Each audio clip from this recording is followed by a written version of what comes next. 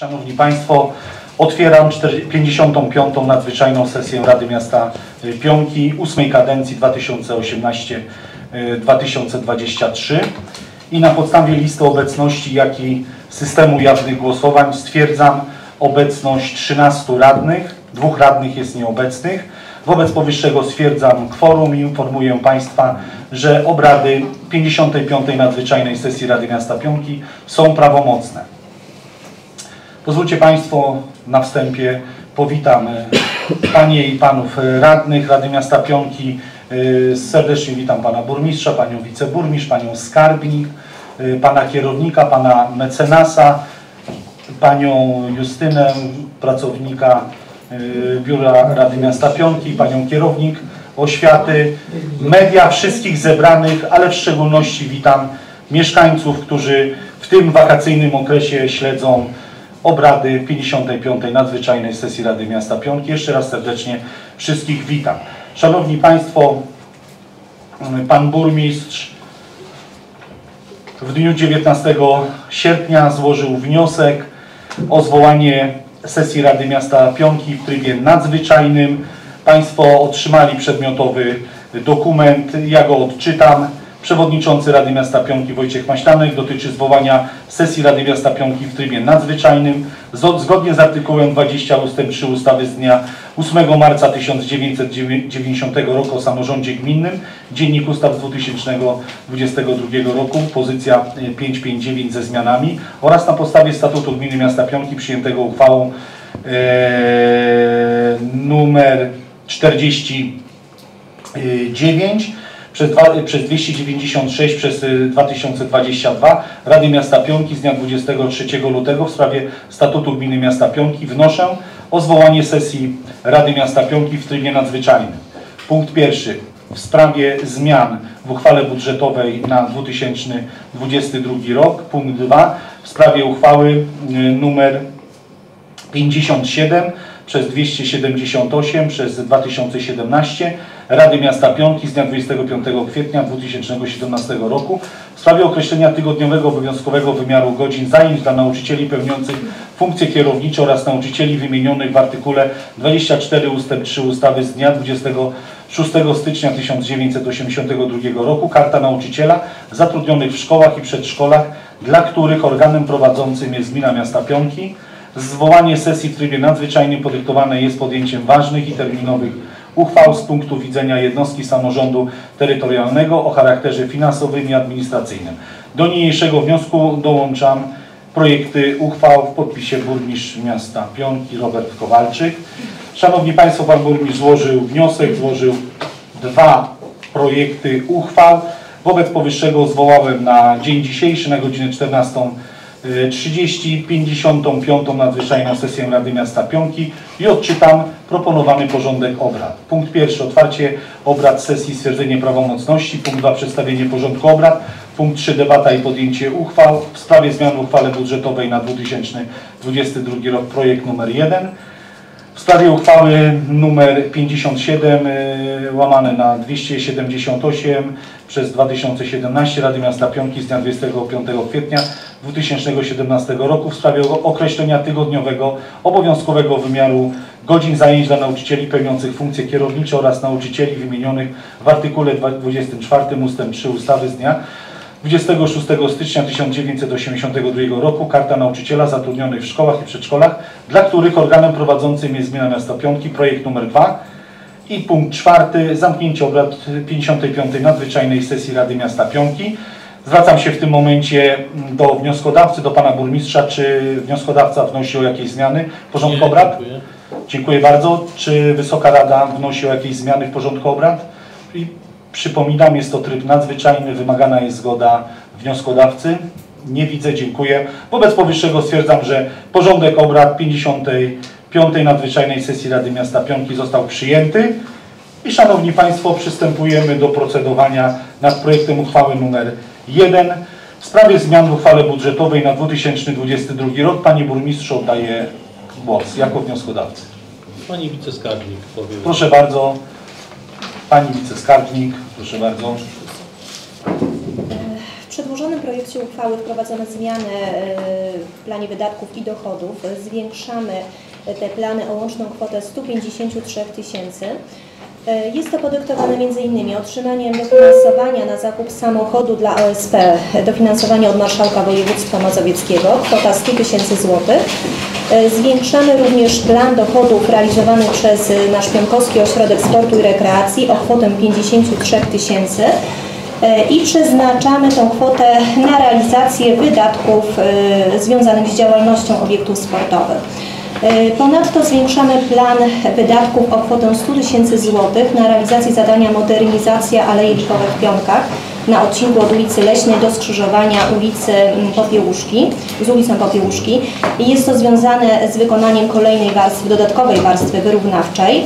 Mm, W dziale 700 e, w zadaniu odbudowa tkanki mieszkaniowej zmniejszamy plan wydatków o kwotę 110 tysięcy. Jest to związane z analizą środków w danym zadaniu. Mm, Tworzymy nowe zadanie e, wykonanie modernizacji podjazdu przy budynku OSP dla nowego samochodu w wysokości 60 tysięcy złotych. Mm, oraz zmniejszamy plan e, wydatków e, z uwagi na oszczędności, jakie powstały po przeprowadzeniu postępowania przetargowego na zadaniu lokalna strefa aktywności rekreacyjno-edukacyjnej przy ulicy Zakładowej. I to wszystkie zmiany. Dziękuję. Dziękuję bardzo. Czy pan burmistrz chce coś dodać? Nie, dziękuję. Dziękuję bardzo. Szanowni Państwo, Szanowni Państwo, wobec powyższego przechodzimy do dyskusji nad przedmiotowym projektem uchwały nr 1 i na wstępie, zanim oddam głos Państwu radnym, poproszę Pana Przewodniczącego Komisji Budżetu i Finansów o przekazanie opinii w sprawie projektu uchwały nr 1. Szanowni Państwo, o godzinie 13.30 w dniu dzisiejszym odbyło się posiedzenie Komisji Budżetu i Finansów. Po przedstawieniu przez Pana Burmistrza i przez Panią Skarbnik proponowanych zmian w y, uchwale budżetowej, y, Komisja praktycznie bez dyskusji jednogłośnie pozytywnie zaopiniowała y, projekt uchwały. Obecnych na posiedzeniu Komisji było pięciu członków. Dziękuję bardzo. Dziękuję bardzo. Oddaję głos Państwu radnym. Kto z Państwa radnych chciałby zabrać głos, zapytać w sprawie projektu uchwały nr 1? Proszę bardzo.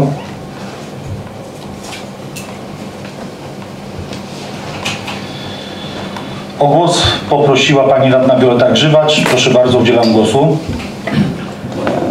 Szanowni Państwo, y, Panie Burmistrzu, chciałam zapytać odnośnie modernizacji y, ulicy Aleje Lipowe w Pionkach na odcinku od ulicy Leśnej do skrzyżowania z ulicą y, Popiełuszki. Dlaczego to 100 tysięcy? Bo wi- widzimy tutaj, tak, że jest mm, w uzasadnieniu e, w związku z koniecznością wykonania warstwy wyrównawczej z mieszanki bitumiczno-mineralnej w celu zwiększenia nośności istniejącej nawierzchni. Czy to nie było przewidziane w dokumentacji, która była e, robiona w, w trakcie, przed wykonaniem tych robót? To jest pierwsze pytanie. I jeszcze drugie mam pytanie. Czy odnośnie tych 110 tysięcy w zadaniu odbudowa tkanki mieszkaniowej w zakresie części wspólnych wielorodzinnych budynków mieszkaniowych przy ulicy Leśnej 17, Aleje Lipowe 9 i 13. Mam pytanie, czy mm, już ten remont się zakończył i skąd wiemy, że nie będzie robót dodatkowych? To dziękuję na razie. Dziękuję bardzo. Panie Burmistrzu, czy w tym momencie chce Pan udzielić odpowiedzi? Tak, pan kierownik odpowie. Proszę bardzo, Pan Kierownik Dygas. Witam szanownych państwa, państwa radnych. Y, Poproszę głośniej. Odnośnie y, ulicy Aleje Lipowe. Y, Zwróciliśmy się do inspektora nadzoru budowlanego z spra- sprawą o wyjaśnienie, ponieważ się wykonawca zwrócił, że ulica jest zniszczona i tak dalej. Projekt był wykonywany w 2017 roku. Natomiast my później zrobiliśmy aktualizację tego projektu, żeby nie wycinać tych słynnych lip, tak? Zaproponowaliśmy zatoki nie prosto opadłe, tylko równoległe. Natomiast sam projekt nie obejmował tego y, wzmocnienia tej jezdni, tak? Y, Tutaj mam pismo inspektora nadzoru. Wykonując na przestrzeni pięciu, sie- pięciu lat tak naprawdę mi- minęło, napisał, że sto, stopień degradacji tej ulicy jest bardzo duży, tak? On zaprojektował w 2017 roku do wyrównania do wzmocnienia y, tej ulicy warstwą mieszanej bitumicznej w ilości 160 ton. Natomiast teraz uważa, po przeanalizowaniu, uważa, że tak naprawdę dla trwałości tej drogi zasadne było wykonanie wzmocnienia całej nawierzchni, tak, bez wymiany podbudowy i tak dalej.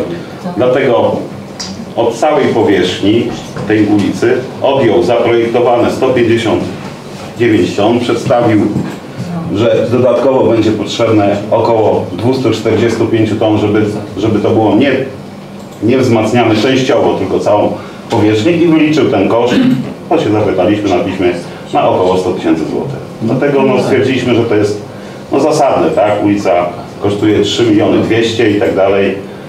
No, żeby była trwała, tak? Bo no, jest degradowana, tak? Nawet po, po, po, poprzez te ostatnie lata, która była użytkowana. Drugie. Tak. I drugie pytanie, Panie Kierowniku. Pytanie? O bloki. Od, odjęliśmy 100 tysięcy. Proszę, proszę. Proszę Pani Radna, tak.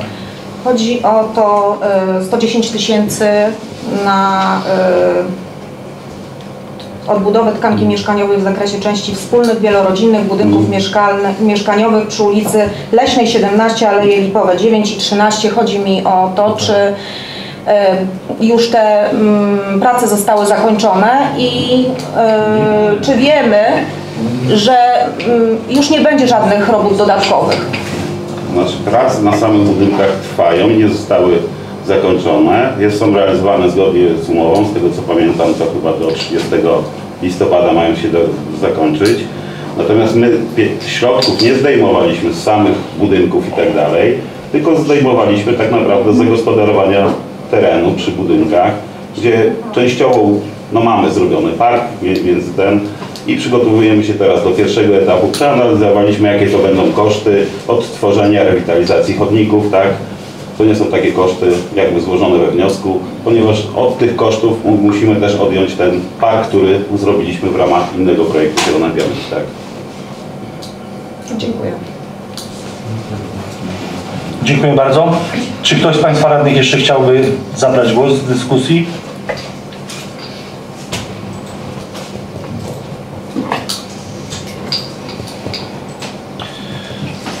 No nie. Wobec powyższego, jeżeli nikt już nie chce o nic zapytać, zamykam dyskusję i przystępujemy do głosowania w przedmiocie projektu uchwały numer 1. Proszę Panią Justynę o uruchomienie głosowania. Kto z Państwa radnych jest za przyjęciem projektu uchwały y, numer 1? Kto jest przeciw? Kto się wstrzymał? Dziękuję bardzo.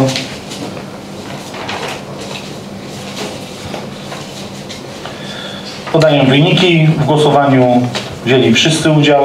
Radni obecni w dniu dzisiejszym za głosów 13, przeciw i wstrzymujących brak. Wobec powyższego stwierdzam, że uchwała nr 1 przez 2022 Rady Miasta Pionki z dnia 24 przepraszam 20 4 sierpnia 2022 w sprawie zmian w uchwale budżetowej na 2022 rok została podjęta. Szanowni Państwo, przed nami projekt uchwały numer 2. Panie Burmistrzu, oddaję głos jako wnioskodawcy. Y, Pani kierownik w moim imieniu.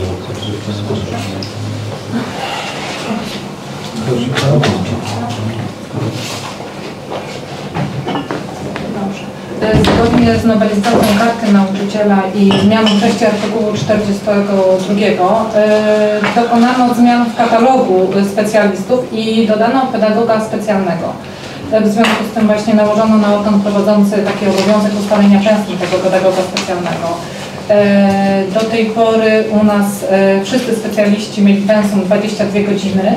E, Przepisy też mówią, że to pensum nie może być wyższe niż 22 godziny, dlatego my tutaj postanowiliśmy też dla tego pedagoga specjalnego przydzielić to pensum w wysokości 22 godzin. Związki zawodowe zaopini- zaopiniowały nam pozytywnie ten projekt. No i Dlatego właśnie prosimy tutaj o, o, tak, o uchwalenie y, tej uchwały z pensum, jest, y, z pensum takim dla tego pedagoga 22, y, 22 godziny na tydzień. Dziękuję. Dziękuję bardzo. Czy Panie Burmistrzu Pan chce coś dodać? Dziękuję bardzo. Szanowni Państwo, przystępujemy do dyskusji w przedmiocie projektu uchwały numer 2 i na wstępie zapytam, czy Komisja Kultury, Oświaty, Sportu i Turystyki obradowała w przedmiotowym, przed, w przedmiotowym spra- sprawie? Komisja Kultury nie zbierała się e, w przedmiotowej sprawie. Dziękuję bardzo. Y, Szanowni Państwo, otwieram dyskusję. Kto z Państwa radnych chciałby zabrać głos?